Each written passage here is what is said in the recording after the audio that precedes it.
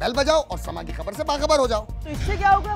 खबरें हो या रीएनेक्टमेंट या हो सुबह सवेरे के टोटके समा की खबर चाहिए। तो बेल बजाइए।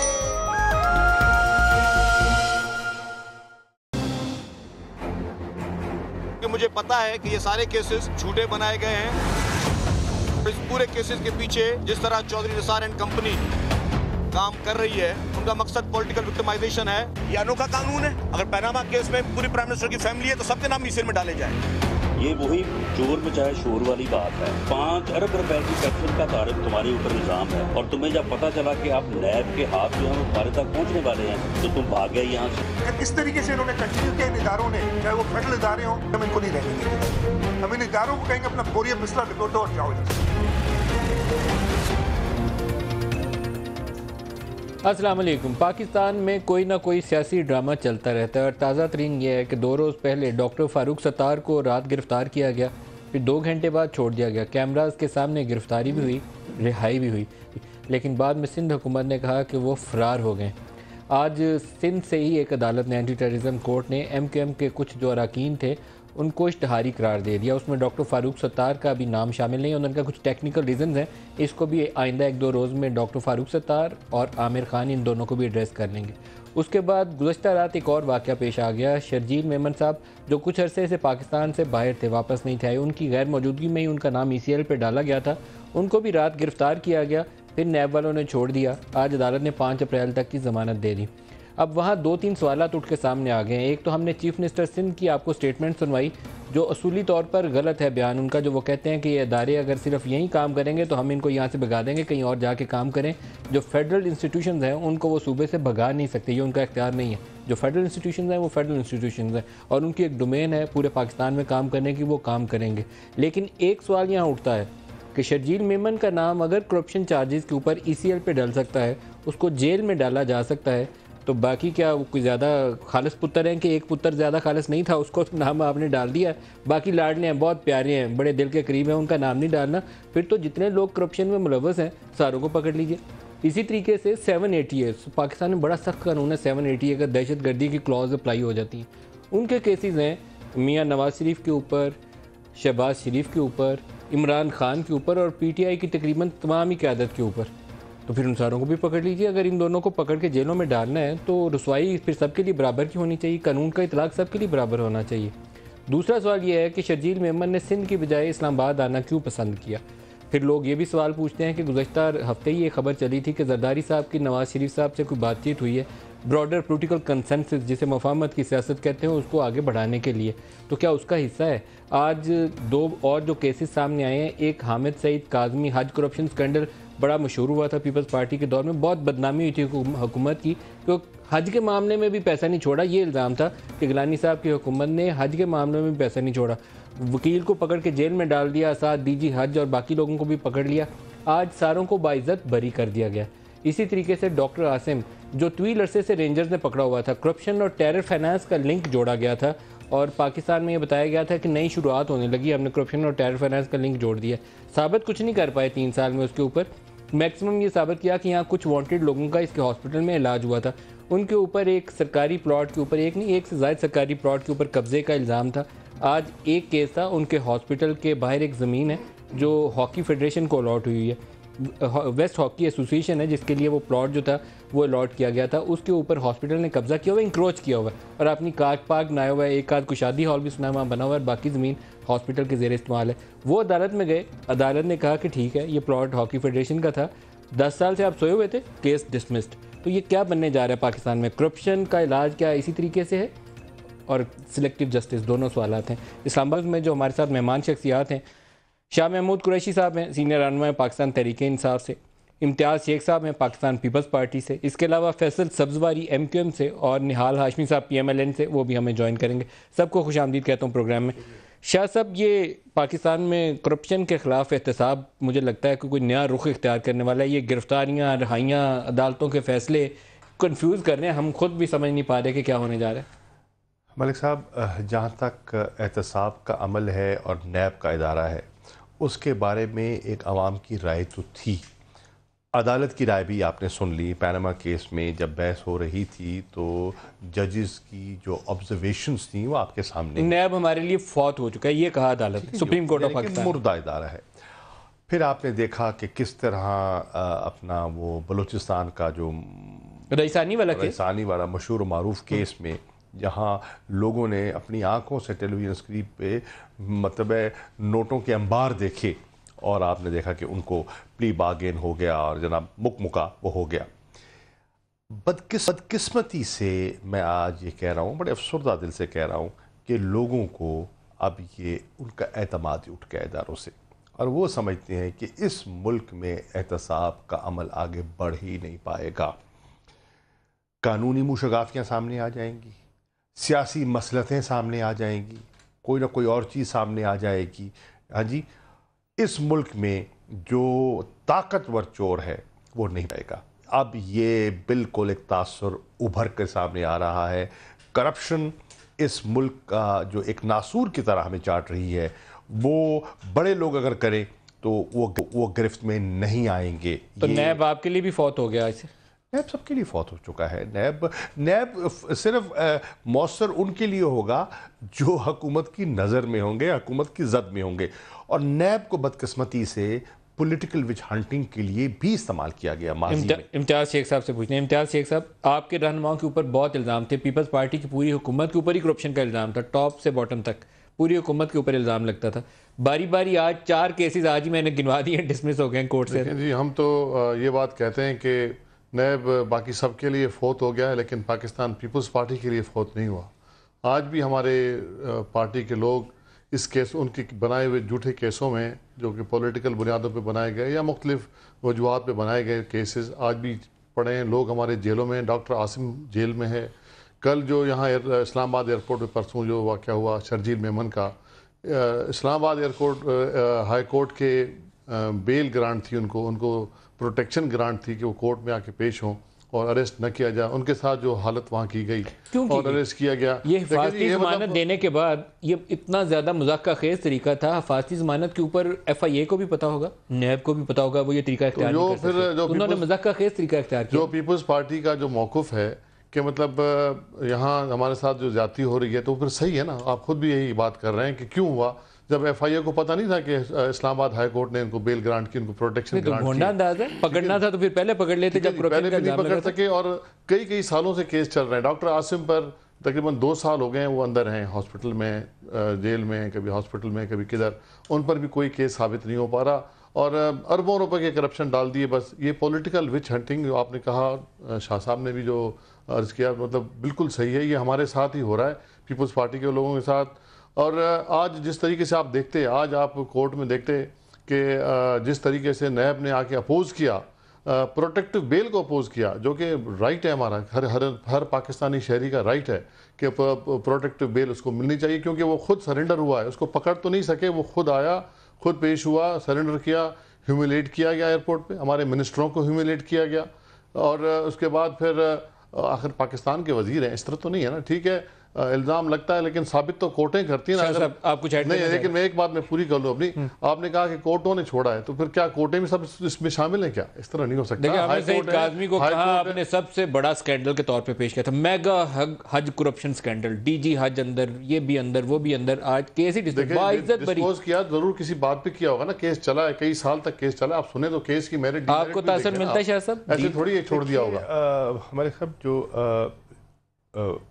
शर्जील मेमन साहब का जहाँ तक ताल्लुक है, जो उनके हालात में तब्दीली आई है, वो सिंध के लोग, जो उनको जानते थे, पहले भी जानते थे आज भी जानते हैं, वो इस बात की गवाही देंगे कि शर्जील मेमन जो आज के हैं, वो माजी से बहुत मुख्तलिफ़ क्या फ़र्क है उनमें?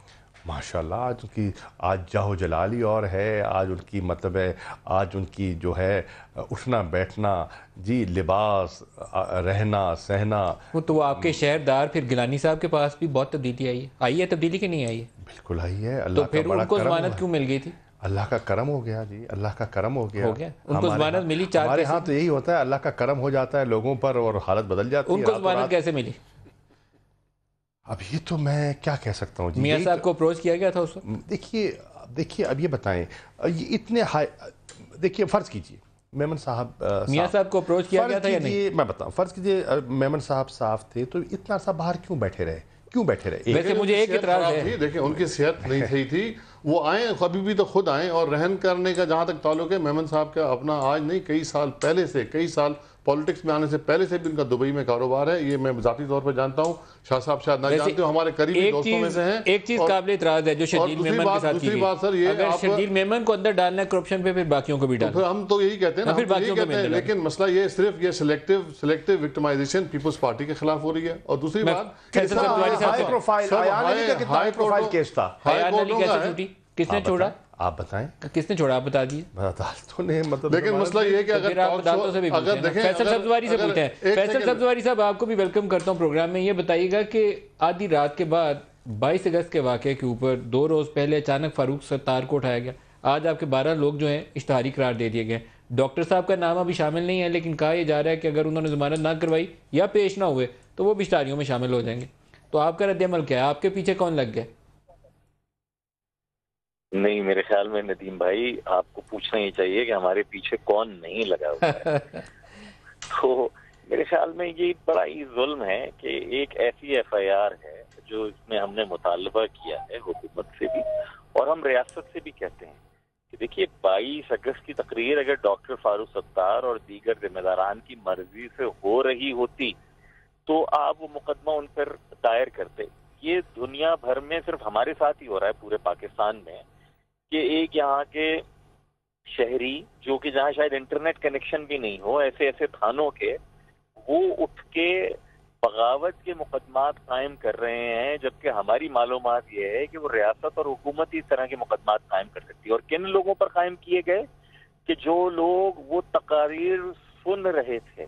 सुनने वालों पर पहला मुकदमा है। और यही 22 अगस्त को है। हमारा मुतालबा ये है कि 27 दिसंबर 2007 को बेनजीर भुट्टो साहिबा की शहादत के बाद सूबे भर में जो कुछ हुआ, उसके हज़ार हा मुकदमात थे, जलाओ, घेराव से लेकर लोगों की जाने तक गई। बैंकों तक को लूटा गया, ट्रेन की पटरियों तक को उखाड़ा गया। उन मुकदमात को सिंध की काबीना ने, जो कायम अली शाह साहब की काबीना का पहला इजलास था अप्रैल 2008 में बैक जुम्बिश कलम उनको खत्म कर दिया गया। हमारा ये मुतालबा है कि 22 अगस्त के मुकदमे में आप हमारे तमाम जिम्मेदारान और कारकुनान को जिनकी रजा और रगबत होती अगर 22 अगस्त की अप्रोच में तो वो फिर 23 अगस्त का फैसला नहीं करते डॉक्टर फारूक सत्तार और दीगर हमारे रुफका उसको खत्म किया जाए इश्तेहारी करार देने का मफरूज किसने पकड़ा डॉक्टर फारूक सत्तार को? गिरफ्तारी किसने करवाई डॉक्टर फारूक सत्तार की? फेडरल गवर्नमेंट ने फौज ने सिंध हुकूमत ने। किसने पकड़वाया? हमें तो जनाब यही बताया गया है कि जो जज साहिबा हैं वो नाराज़ थी कि डॉक्टर फारूक सत्तार टेलीविज़न पर नज़र आते हैं और गिरफ़्तार की नहीं होते। काश ऐसे जज साहिबान पूरे मुल्क में हो। नहीं लेकिन सब जुबारी साहब रात 12 बजे उन्होंने पुलिस के अफसर को भेजा के जाके फारूक सत्तार को पकड़ के लाओ और दो घंटे बाद कहा कि छोड़ दो वो फरार हो गए। नहीं ये मेरे ख्याल में फरार अगर हुए होते तो फरार होके कहीं छुप जाते। तो पीआईबी ऑफ़िस में बैठे नहीं नहीं मैं आपसे फरार की वजाहत नहीं मांग रहा लेकिन हुआ बिहाइंड इट ये स्टेटमेंट इशू की गई थी।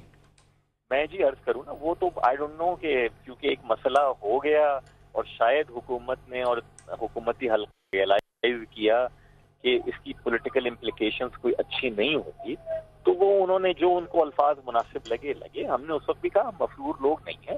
इस मुल्क में तो वज़ीर आज़म साहब भी जो हैं उन पर भी मुकदमा कायम है और शायद वो भी अगर ऐसा ही हमारे जैसा इंसाफ कहीं हो रहा हो तो शर्जील तो मेमन की गिरफ्तारी के ऊपर आपका क्या रद्दमल है? क्या उसके साथ ऐसा ही होना चाहिए था? नहीं शर्जील मेमन साहब को तो देखिए हर शहरी को हिफाजती जमानत और जमानत का हक हासिल है। लेकिन जहाँ तक ये कमेंट हो रहा है इम्तियाज़ शेख साहब फरमा रहे हैं मेरे दोस्त हैं भाई हैं शर्जील मेमन साहब के साथ भी मैंने असेंबली में टाइम गुजारा है। बदकिस्मती की बात ये है कि जमहूरियत का सबसे ज़्यादा लेक्चर देने वाली पाकिस्तान पीपल्स पार्टी को अगर जमहूर का, यानी लोगों का ख्याल होता तो सूबा सिंध में आठ बरसों में एक हज़ार अरब रुपए से ज़्यादा का तरक्याती बजट दिखाया गया है कि खर्च हुआ है, जिसमें से नब्बे फ़ीसद से ज़्यादा देही सिंध की जानेब एलोकेट हुआ है। मुख्तलिफ़ अजला में देही सिंध के प्रोग्राम्स कर लिए जाएँ और देख लिया जाए कि आवाम की हालत इजार और वहाँ के अवामी नुमाइंदों की हालात में क्या फ़र्क आया आठ बरसों में तो पता चल जाएगा अच्छा ये हालत का फ़र्क जो था अभी शाह महमूद कुरैशी साहब ने भी कहा निहाल हाशमी साहब से भी पूछते हैं निहाल हाशमी साहब हज़ार अरब रुपया क्या सिंध में खर्च हुआ या जेबों में चला गया? और अगर चला गया जेबों में तो कार्रवाई का तरीकाकार क्या वही है जैसे शर्जील मेमन को पकड़ा या कोई और होना चाहिए? बिस्मिल्लाहिर्रहमानिर्रहीम नदीम साहब ये हम नहीं कह रहे, ये सिंध हाई कोर्ट की एक बेंच ने और मोज़ जज साहबान ने कहा कि नबे अरब रुपया लारकाना में कहाँ लगाया गया? और वो एक नाम लफ्ज़ लिया कि वो भी सात घर छोड़ के करती है। फिर पीपल्स पार्टी के अपने बड़े कद के लोग, उन्होंने कहा, शर्जिल इनाम मेमन तो करप्शन के किंग है। और फिर ये ज़बान जद आम है, बल्कि ये कहें कि ज़बान खल्क को नक्कारा खुदा समझो। शर्जील इनाम मेमन साहब के बारे में ये सारी बातें होती रहीं। और अभी आपके टेलीविज़न में दिखाया जा रहा था और मैं उस शहर में रहता हूँ। मैंने देखा है कि किस तरह से डॉक्टर आसिम कितने मासूम आदमी है कि उनके रोड के उस पार जो ग्राउंड है, दूसरे भी ग्राउंड है, जो तरावी साहब के इमाम बारगाह के साथ है, उस पर भी दो एकड़ ज़मीन पर काबिज हैं अलहमदिल्ला तो बात यह है कि ये ये ये लोग हैं बड़ी ज्यादती करते हैं इदारे इनके ऊपर हाथ डाल करके। बिल्कुल नहीं डालना चाहिए क्योंकि ये तो लेकिन निहाल हाशमी साहब अगर इदारे ने हाथ। डाला था तो आज अदालत ने किस कानून के तहत उस केस को डिसमस किया? जब अदालत को पता है कि ये प्लॉट हॉकी का है हॉकी फेडरेशन का है अदालत ने ये कहकर डिसमिस कर दिया कि 10 साल से आपने पूछा नहीं इसलिए आप मत आओ जाओ भाग जाओ यहाँ से। वो किस कानून के तहत? कब्जा तो कब्जा होता है सारी ये आपने कहा शर्जील इनाम मेमन को क्यों अदालत ने बेल दे दी? प्रोटेक्टिव आपने कहा कि जनाब काजमी साहब को तो देखें अदालत तो गवर्नमेंट के डोमेन में नहीं अदालत बड़ी इंडिपेंडेंट है सॉवरेन है।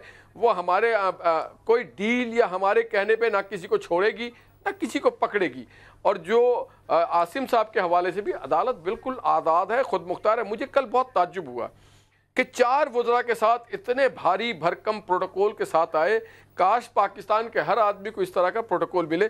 इस मुल्क में दो कानून है। एक कानून है उन लोगों के लिए जो करप्शन करते हों, वजारत में बैठे हों, आला सियासी अहदे पे फायज हों और फिर उनको कोई ना पूछे, उनको रेड कारपेट दिया जाए। एक कानून उसके लिए है कोई चपरासी हो या पुलिस का सिपाही हो या कोई क्लर्क हो, वो पाँच सौ या पाँच हज़ार की रिश्वत लेता हो या एक आदमी थोड़े से ज़मीन पे आगे अपने घर से चला जाता हो उसको उठा के बंद कर दिया जाए। और नैब का चेयरमैन हम नहीं लगाए। इससे पहले 2008 से 13 तक जब दीदार हुसैन शाह साहब इनके पार्टी के चेयरमैन थे तो हमसे नहीं पूछा गया कि नैब का चेयरमैन मगर इस बार जब नैब के चेयरमैन लगाया नैब के तो मौजूदा चेयरमैन आप और पीपल्स पार्टी के मशवरे से लगे हुए हैं। ये आपकी ज़िम्मेदारी है आप कबूल करिए। आप इससे जान नहीं छुड़ा सकते निहाल हाशमी साहब। आप और पीपल्स पार्टी दोनों ने मिलकर लगाया हुआ है नैब चेयरमैन को। यह ज़िम्मेदारी आप दोनों पर ही आयद होती है। हाँ तो ये जो आयन और कानून कहता है उसी के मुताबिक हुआ है। तो मैं समझता हूँ कि शर्जील साहब को अदालत को तो फिर मुबारक हो जी इस मुल्क के कानून को पहले मेगा हज करप्शन स्कैंडल हमें बताया था आज बाइज्जत बरी कर दिया ये फिर मुबारक हो पूरी पाकिस्तानी कौम को। देखिए ये फिर अदालत का डोमेन है। आप जाके उन हाजियों से पूछिए आपके पास फुटेज है टेलीविज़न पे उन फुटेज को देखिए कि जिन मैं तो आपसे पूछूँगा जी, हाजियों से आप पूछिए जाके, आप अदालत से पूछिए। जिन लोगों ने मैं एक एक दो चीज़ों पर कमेंट कर दूँ। हमारे फैसल सब्जवारी भाई हमारे दोस्त हैं। हम साथ कोलीग भी हैं उन्होंने बात की एक हज़ार अरब रुपए की। देखिए ये बैठ के बातें करना हज़ार अरब की पाँच सौ अरब की दो सौ अरब की ये अपनी ये मतलब एक हवा में बात है। मतलब कोई इस तरह का कोई कॉन्क्रीट बात करें और ये तो हमारे साथ हुकूमत में शामिल रहे। ये तो मतलब पीपल्स पार्टी के साथ मुतहदा शामिल रही। है तो अभी आजकल मतलब जेर अताब है यूँ समझ लें या आपके ज़ेर इनके नहीं हमारे नहीं वो जो जिनके है उनको भी पता है और आपको भी पता है। लेकिन मसला ये है कि जब साथ थे तो कोई ऐसी कोई करप्शन नहीं थी। अब अलग हो गए या मसले मसाइल हैं तो करप्शन हो गई। और जो नवे अरब लाड़काना की बात करते हैं, वो भी बिल्कुल गलत है। नवे अरब रुपया बिल्कुल नहीं है और नहीं किसी हाई कोर्ट में नवे अरब रुपया साबित हुआ है। अगर निहाल हाशमी नवे अरब रुपये की बात साबित करें तो मैं जुर्माना भरने तो को हज़ार अरब खर्च किया। हज़ार अरब का डेवलपमेंट बजट है ये करेक्ट फिगर है गलत नहीं है फिगर देखिए, ये खर्च कहाँ मसला ये है कि आप यहाँ बैठ के इस प्रोग्राम में तो तयन नहीं कर सकते कि कहाँ खर्च हुए कहाँ खर्च नहीं हुए या किसी एक आदमी ने कोई कह दिया मैं सारे आपके का चक्कर लगा के साबित कि। गवर्नेंस का इशू ज़रूर है सिंध में ज़रूर मसले मसाइल अपनी जगह पे हर सूबे में है ये नहीं हमारे पास है लेकिन इसका और दूसरी बात अभी वो पुलिस का एक कांस्टेबल पकड़ा दूसरी है, बात दूसरी ये। कि कोर्ट अगर किसी को छोड़ती है तो आप पीपुल्स पार्टी वाले किसी को छोड़ती है तो आप कहते हैं एतराज़ है अदरवाइज़ जुडिशरी कहते हैं बिल्कुल इंडिपेंडेंट है। अब जज छोड़ता है किसी को तो आप, आप मतलब वो अच्छी बात नहीं लगती किसी को लोगों को। ये तो मतलब हैरान कन बात मैं है। एक ब्रेक ले लूँ शाह साहब? और ये हाई फैसले हैं ये मतलब कोई आपसे मैंने पूछना है ये जो एक ही दिन में तीन चार फैसले हैं आप चार साल से जस्टिस इफ्तार चौधरी ने वो लुडियाँ डालनी शुरू की हुई थी कि मैं वो मेगा करप्शन के ऊपर हाथ डाल रहा हूँ। आज ये इंजाम है कि बाइज्जत बरी हैं सारे लोग। वो निहाल हाशमी साहब कह रहे हैं बद दुआएँ हाजियों की लग गई हैं। तो मुझे तो लगता है आज दुआ लग गई आज तो बाइज्जत भरी हो गई एक ब्रेक ले लें ब्रेक ले लें ब्रेक से वापसी पे बात करते हैं। वेलकम बैक शाह साहब, अभी एक बहस में आप हिस्सा लेकर आए हैं मिलिट्री कोर्ट्स के ऊपर, और मिलिट्री कोर्ट्स आपको इसलिए बनानी पड़ रही हैं कि आपका जो रेगुलर जुडिशल सिस्टम है, वहाँ से इन मुजरमों को सज़ा नहीं मिल पाती। करप्शन के केसेस ले लीजिए।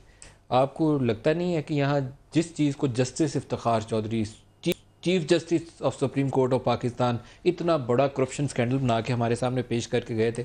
आज जज साहब ने बाइज्जत बरी करके तो फिर सुप्रीम कोर्ट की भी छुट्टी करा दी। देखिए आज जो हमें सहारा लेना पड़ रहा है मिलिट्री कोर्ट्स का ये तो अ, कोई पसंदीदा रास्ता तो है नहीं। देखा जाए डेमोक्रेसी में एक जमहूरियत में मिलिट्री कोर्ट्स बनते नहीं हैं सजते नहीं हैं। अब क्यों लिया जा रहा है? आपने दो दफ़ा एडमिट किया। एक आपने जब एंटी टेररिस्ट कोर्ट्स इस्टेब्लिश किए तो आपने वो भी तो एक नॉर्मल जुडिशल सिस्टम से अलग चीज़ है ना एक नया कानून बनाया एटीए की बनाई पोपा के अंदर प्रोविज़न डाली आपने मिलिट्री कोर्ट्स बनाई पैरेलल आपने तीन लाइंस ऑफ़ जुडिशरी अर्ज़ बना कर रहा हूँ ना कि आपने नॉर्मल सिस्टम से एंटी टेररिस्ट कोर्ट्स बनाए एक्नॉलेजिंग के नॉर्मल कोर्ट्स में दिक्कतें आ रही हैं। फिर आपने जो एंटी टेररिस्ट कोर्ट बनाए और फिर जैसे पहले आपने ज़िक्र किया कि सेवन एटी का जिस बेदरेख तरीके से इस्तेमाल किया आप गया। पे भी है सेवन एटी जी। माशाल्लाह फिर तो देखें देख, बेदरेख। प्रोक्लेम्ड ऑफेंडर भी है कि नहीं है? जी हैं जी सब कुछ है। बुलाए थाने वालों को शायद यहाँ हिम्मत है तो यहीं से यहीं से उठवा दे। प्रोड्यूसर साहब जरा लगाइएगा दोबारा कोशिश करिएगा। यहीं से उठवा दे। यहीं से उठवा दे। आसानी हो जाएगी। अब अर्ज़ ये है कि जिस तरीके से आपने वो किया आपने कहा कि वो भी डिलीवर नहीं कर पाए और जो कन्विक्शन रेट हमें जब ब्रीफिंग दी गई जो कन्विक्शन रेट था एटीएस का वो बड़ा मायूस कन था। दिक्कत थी जजेस को प्रोटेक्शन नहीं थी जो कि लेकिन क्या अदालती फैसलों के ऊपर हुकूमतें असरअंदाज हो रही हैं? मैं ये फैसलों से परेशान हूँ जी देख के। या तो केसेस सारे झूठे थे मन घड़त थे जान ही कोई नहीं थी या ये फैसलों में कुछ खराबी ये बताइए मैं अब देखिए मैं अ, अ, आला अदलिया पे कमेंट करते हुए भी इंसान को घबराहट होती है कंटेम्प्ट का भी एक एक है तकाजा। कंटेम्प्ट नहीं लेकिन फैसले के ऊपर फिर कमेंट तो करने का राइट होता है आपको नहीं ये अर्ज़ होती करूँ मैं आपको ये अर्ज़ करूँ सवाल ये है कि आम पाकिस्तान का जो शहरी है उसका एतमाद का फुकदान क्यों है? सोचने वाली बात है। वो एतमाद क्यों नहीं करता अपने इदारों पर कोई वजह तो होगी ना। एक नंबर दो आपका ये लोग आ, चले जाते हैं ये पंचायत से फैसला करवा लें।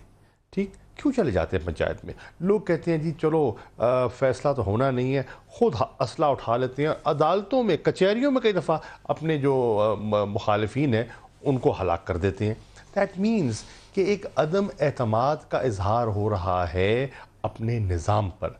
और ये बड़ी ख़तरनाक बात है। जब माशरे जब ये चीज़ आ जाए तो इसका मतलब है कि माशरा टूट रहा है। निहाल हाशमी साहब आप फरमाइएगा आपने बड़े जज्बाती अंदाज में उन करप्शन केसेस का ज़िक्र किया जिसमें डॉक्टर आसिम या शर्जील मेमन का ज़िक्र आता है। आपने कहा कि उनका तर्ज ज़िंदगी भी बदल गया तो फिर अदालतों ने ये फैसले क्यों किए? देखिए मैं खुद भी एक वकील हूँ। मैं समझता हूँ कि हर किसी को हक हासिल है कि अपील में जाए। जो ट्रायल कोर्ट ने उन्हें सज़ा दी थी कहीं कोई नुस्ख होगी अपीलेट कोर्ट जो है वो पूरे केस को नहीं देखती सिर्फ़ देखती है जजमेंट को। हो सकता है कि गवर्नमेंट फिर या जो इदारे हैं, वो फिर जाएगी सुप्रीम कोर्ट में और जाने के बाद हाई कोर्ट के फैसले, उसको चैलेंज किया जाए। कई बसा अवकात ये होता है कि एक कोर्ट से कोई फैसला होता है, दूसरे से दूसरा होता है। मैं शाह साहब की इस बात से इतफाक़ करूँगा कि हमारे इदारे कमज़ोर हो रहे हैं और उसकी वजह यह है कि हम कि हम खुद कमज़ोर हैं। अपने किरदारों में में हम कमज़ोर हैं कमज़ोर हैं। हम सियासी फ़ायदे उठाते हैं, हम इलाकाई फ़ायदे उठाते हैं। अब जैसे आज शर्जिल इनाम मेमन साहब ने कहा कि सिर्फ़ पीपल्स पार्टी और सिर्फ़ सिंध के लोग, जब हम आइन और कानून और इंसाफ में तासुबात बरतना शुरू हो जाएँ, अपनी कमज़ोरियों को ना देकर और फिर लोग खड़े हो जाते हैं उनके साथ। मैं ये आपसे पूछना चाहता हूँ कि कई ऐसे लोग हैं जो बहुत बड़े बड़े मेगा स्कैंडल्स में हैं और वो जैसे ही उन पर हाथ डाला जाता है, वो कहते हैं, जी, हम तो बेकसूर हैं। और कभी भी नहीं खड़े होते हमारे लोग उन बेकसूरों के साथ जो मुफलिसों के साथ, जिनके पास वकील के लिए भी फ़ीस नहीं है।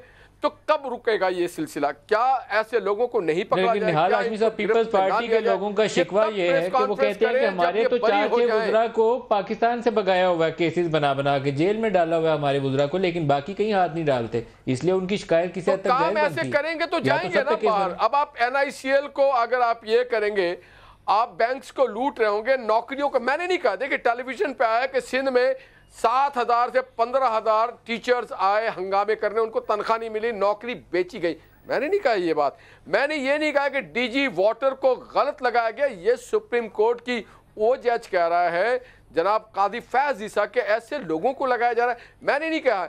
ऑडिटर जनरल की ये रिपोर्ट है कि सिंध में थ्री ट्रिलियन की करप्शन हुई है। मैं नहीं कह रहा हूँ, ये आपकी मीडिया में है।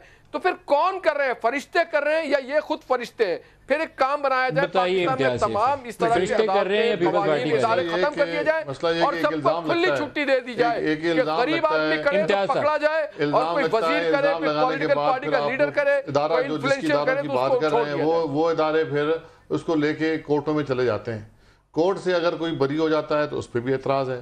वो अगर हमारे मेरे हमारे खिलाफ अगर फैसला उन्होंने ऐसे काम ही ना करें कि आपके ऊपर मुकदमा बनते हैं। मुकदमा तो सियासी आप करप्शन में इस वक्त-? इस वक्त क्या टेररिस्ट कोर्ट में शाह साहब हैं उस, उस मसलों में लेकिन ये ये सब पॉलिटिकल विक्टिमाइजेशन होती है। इस तरह हर दौर में आपका ख्याल है जो इम्यूनिटी है वो पोलिटिकल विक्टिमाइजेशन ज़ाहिर सी बात है इसमें कोई शक को शुबा है किसी को? मुझे शक है। शक ठीक है ना? अब स्टेशन वाला हमला था शाह साहब की शख्सियत दुनिया जानती है हर आदमी जानता है उनकी उनकी जो भी पोजीशन है अब उन पे अब उन पे आप इमरान खान पे भी तो लगेगी ना डॉक्टर तारुल कादरी के साथ खड़े मतलब ये ये चीज़ें वो हैं जो हमारे इदारे ही लगाते हैं और इदारे हमारे जो फिर बाद में कहते हैं हमें कमज़ोर किया जा रहा है कमज़ोर हो गए। कमज़ोर हो गए तो उनको इस्तेमाल ना करें पर साहब का सवाल सही है वो कहते हैं ऐसे काम ही ना करें जिस पे देखिए फिर काम ना करें तो इदारे फिर तो फिर मतलब इस तरह के जितने भी केसेस हैं जिस पर भी बने हैं जिस पर भी बने हैं चाहे वो पीएमएलएन के हों पीपल्स पार्टी के हों फिर सब सही है। इदारे बनाते हैं केसेस पॉलिटिकल विक्टिमाइज करने के लिए विच हंटिंग के लिए और मतलब वो अपना चूजन जो होती है अपना वो कर Selective justice कर रहे हैं अपनी पसंद का इंसाफ करना अपनी पसंद का इंसाफ करके करते हैं और फिर कोर्ट छोड़ती है तो फिर एतराज़ है कोर्ट ने छोड़ दिया जी। अब मसला यह है कि फिर उसको आप मेरिट पे देखें तो सही। सिर्फ़ टीवी पे बैठ के आप और मैं और शाह साहब बैठ के फैसला नहीं कर सकते। कि भाई ये बस अब पाँच सौ अरब की करप्शन हो गई हज़ार उसके सबूत लाने पड़ते हैं साबती देनी पड़ती है। अगर नहीं है साब्ती तो लाजमी है कोर्ट फैसला वैसे उसी अंदाज से करेंगे। बहुत ही नालायक आदमी होता है रईसानी जैसा जो चारपाई के नीचे पैसे रख के बैठा होता है और पकड़ा जाता है। इस तरह तो का है तो करप्शन के उस तरह का है तो मतलब उसको ज़रूर टांगे आप। वो इस तरह का और इस तरह का लेकिन- नालायक बंदा और मिलेगा कोई नहीं आप इस तरह के केसेस बनाते हैं जो फिर हाई कोर्ट सुप्रीम कोर्ट है इनको छोड़ देती हैं क्योंकि कोई सबूत साबित नहीं होता। आप ये तो नहीं है कि व्हाइट कॉलर क्राइम शाह साहब साबित करना दुनिया का मुश्किल आप किसी को टांग दें। ये कैसे मुमकिन है? कैसे होगा इंसाफ?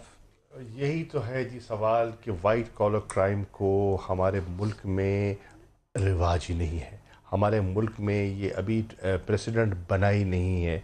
वाइट कॉलर क्राइम पे शायद हमारी एक्सपर्टीज़ भी, भी कमी है मैं मानता हूँ। हमारे इदारे शायद उस तरह उन- उनकी वो एक्सपर्टीज़ नहीं है और लेकिन पॉलिटिकल विल भी नहीं है। सच्ची बात यह है कि पॉलिटिकल विल नहीं है।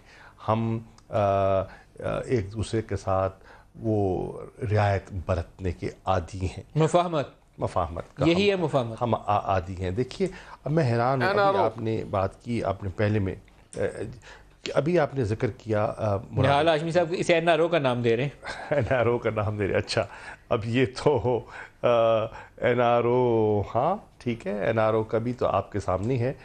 बहुत से लोग उससे मुस्तफ़ हुए बहुत से लोग उससे मुस्तफ़ हुए इसमें कोई शक ही नहीं है। हर तरफ़ के लोग हुए। जी हर तरफ़ के लोग सही कह रहे हैं। बहुत से लोग मुस्तफ़ हुए। लेकिन मैं एक करना शाह साहब शेख साहब आप जैसे लोगों को इसके ऊपर बात करनी चाहिए। एक, एक मैं वो नैब चेयरमैन जो दोनों बड़ी जमातों ने मिलकर लगाया है वो काम नहीं कर रहा सुप्रीम कोर्ट कहती है हमारे लिए ये फौत हो गया। एफ़ आई ए जो कुछ कर रही है वो बदनामी ज़्यादा कमा रही है इज़्ज़त कम कमा रही है। तो फिर करेगा कौन आपका काम? यही तो आज मसला है।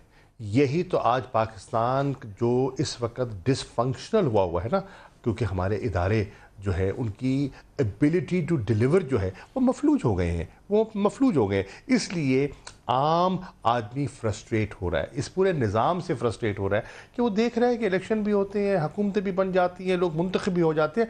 मेरी हालत नहीं बदलती, मेरी ज़िंदगी वैसे है, बल्कि पहले से ज़्यादा मुश्किल है, एक। और दूसरी बात मैं अर्ज़ करूँ, मुराद अली शाह का भी आपने ज़िक्र किया सी एम है, बड़ा ख़ानदानी आदमी है, पढ़े लिखे आदमी है, अच्छे आदमी लेकिन जब वो ऐसी बात करें कि जी वफाकी इदारों को हम यहाँ से बाहर फेंक देंगे तो ये तो बेसिक पीपल्स पार्टी की जो एक वफाकी सोच है उसके बरक्स है बरक्स है। उनको बिल्कुल नहीं ऐसा कहना चाहिए। इन्हें ज़्यादा मोहतात होना चाहिए। देखिए उनका तो शेवा उनका तो ये तुर्रा इम्तियाज़ ये था कि उनकी सोच वफाक की है। और जिन्होंने मतलब है कोई सिंध नेशनलिज्म की बात की तो पीपल्स पार्टी ने वफाक की बात की।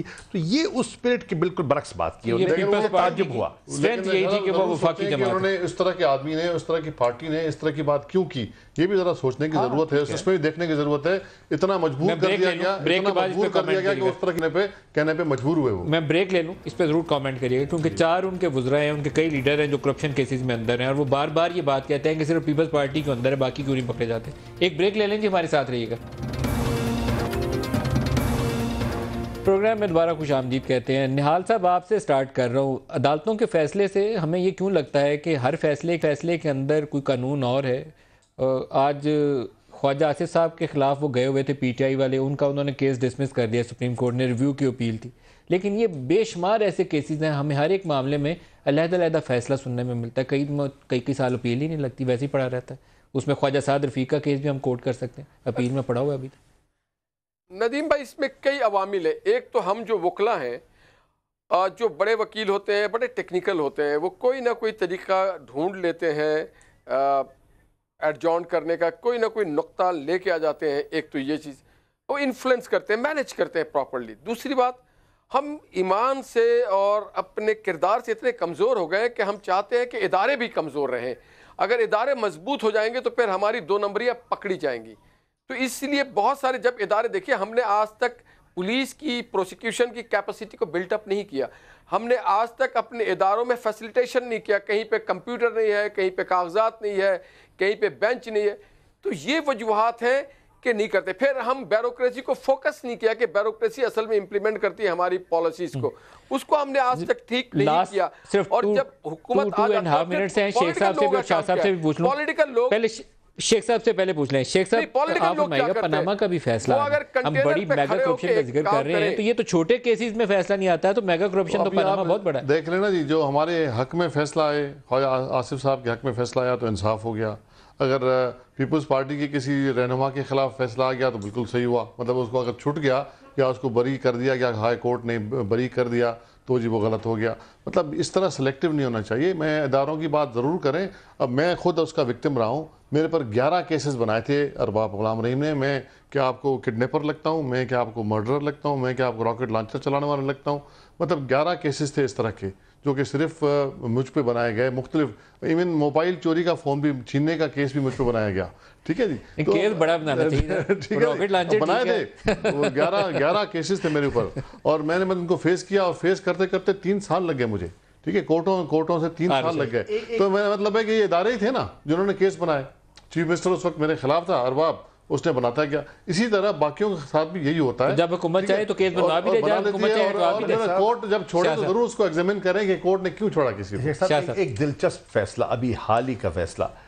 हमारे एन ए एक सौ अड़तालीस से M N A Ghaffar Dogar साहब मुस्लिम लीग नवाज़ के एम एन ए मुंतखब हो गए। उन पर जाली डिग्री का केस बन गया और अदालत में चला। पूरे तीन साढ़े तीन साल केस चला। गवाह भुगत गए बैस जरा हो गई। फैसला महफूज फैसला महफूज। तारीख पे तारीख पड़ रही है। साढ़े तीन साल बाद जज साहब फैसला करते हैं कि ये केस तो मेरे पास आना ही नहीं चाहिए था। आप इलेक्शन कमीशन जाएँ। तो ये भी एक फैसले की मिसाल है हालिया फैसले की तो आप उन जज साहब के खिलाफ सुप्रीम कोर्ट में जाए। साढ़े तीन साल बड़ा लंबा अरसा है जी ज़िंदगी का भी और एक असम्बली की मुद्दत पूरी होने पे आ जाती है। साल के सुन के उन्होंने कहा ये तो बनता ही नहीं है। मेरे पास आना ही नहीं चाहिए था इलेक्शन कमीशन जाइए। गुड तो फिर अदालतों की इस्लाह कौन करेगा? पार्लियामान में फिर है? फिर इन्ना लिल्लाह व इन्ना इलैहि राजिऊन। अदालतों पे। मैं ये कुछ नहीं कह रहा आगे। लेकिन अदालतें अदालतों का मसला ये है कि उस पर इतना हम खुला कमेंट कर नहीं सकते फिर वो कंटेम्प्ट के उसमें आ जाते हैं लोग। प्रोग्राम इस तरह के होते रहे लेकिन ये ज़रूर है कि केस टू केस आप ज़रूर देखें। अगर कोई आदमी छुट जाता है बरी हो जाता है तो उसका उसके मेरिट शेख साहब अदालतों की बुराई मकसूद नहीं है लेकिन पार्लियामान इसको बाख्तियार लेकिन अगर मज़बूत करे कवानीन को। अगर अगर ये फिर सबके साथ होना चाहिए ना। अगर मेरे मेरे मेरा केस मैं बरी हो गया तो वाह वाह ज़बरदस्त इंसाफ मिल गया और पाकिस्तान में जुडिशरी का बोलबाला अगर मतलब कोई मेरा मुखालिफ छुट गया तो मैं बोलूँ जी ये तो ये इंसाफ नहीं है। ये इस तरह नहीं है। अब ये शर्जील वाला मसला है शर्जील वाले मसले को बहुत वो दिया गया है लेकिन लेकिन निहाल साहब जल्दी से कह दीजिए इसमें एक जुमला जल्दी से निहाल bail आजीजा मिला कह वो जाके खुद को पेश करेंगे वहाँ जाके कोर्ट में। हमारी किरदार की कमज़ोरी क्या है? आपको याद होगा कंटेनर पे खड़े होकर के खान साहब कहते थे सुप्रीम कोर्ट को धमकी देते थे आईजी को धमकी देते थे। तो जब आप इदारों को धमकी दें आप सुप्रीम कोर्ट को धमकी दें इलेक्शन कमीशन को धमकी तो वो भी सहम थे वो भी हमारे माशरे में रहते। इसी तरह से आप देखिए जब केपी में एहतसाब का अमल शुरू हुआ तो जनरल हामिद को भी मजबूर होना पड़ा और आज ताला लगा हुआ है। केपी के जो एहतसाब अदालत एहतसाब का इदारा है उसमें ताले लग गए जंग पड़ गए उस इदारों में। तो हमें अपने कितार को पहले पुख्ता करना होगा कि हम लोगों को धमकियाँ ना दें अपनी जाति लस्ट के लिए अपनी पर्सनल गेन के लिए। तो फिर काम आगे बढ़ जाती है। सभी सभी को इसके ऊपर हिस्सा डालना है तब ये काम आगे बढ़ेगा। निहाल हाशमी साहब यहाँ से इस्लामाबाद स्टूडियो से इम्तियाज़ शेख साहब और जनाब शाह महमूद कुरैशी साहब सबका बहुत शुक्रिया। आप हमारे साथ रहे। आज के लिए इतना ही। इजाज़त दीजिए। खुदा हाफिज़।